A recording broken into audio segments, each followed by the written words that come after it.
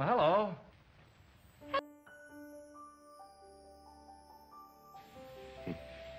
I mustn't. You're so kind, and I love you. And then I'll find a way for both of us.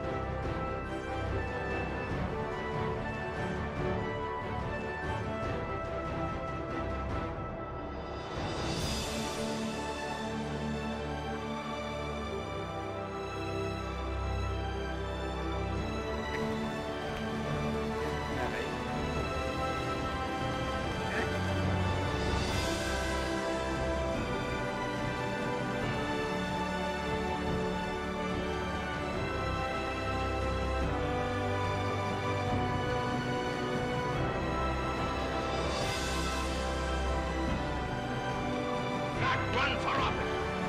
You have such a fervent, passionate, evangelical